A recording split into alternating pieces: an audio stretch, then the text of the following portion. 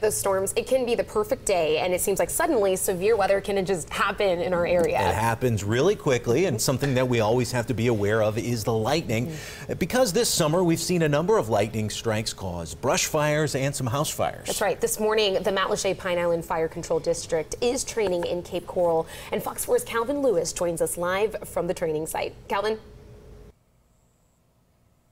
Yeah, Shari, Chris, good morning to you both. Firefighters, they'll be practicing what's called a fire ground tactic, and it'll all be unfolding at this home right here, situated in Cape Coral, later this morning. And today's drill also serves as an important reminder to homeowners that lightning can strike at just about any moment.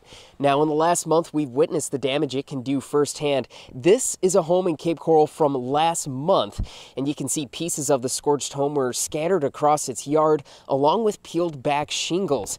And that's where Iona McGregor fire officials said the bolt hit the roof and actually starting a fire. Now, thankfully, nobody was inside the home when that fire started, but that does not change how fire crews respond.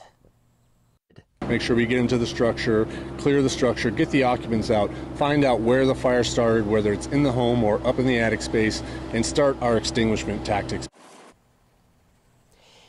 And it just so happens that today's training has a focus on what's called piercing nozzle tactics. That's a special nozzle for attic fires. And firefighters will also run drills involving roof ventilation as well as room to room wall breaches. And we'll, of course, be out here as that training gets underway. You can, of course, find some more helpful information when it comes to uh, lightning safety when you head over to our website right now at fox4now.com. But for now, Reporting live here in Cape Coral, Calvin Lewis, Fox 4.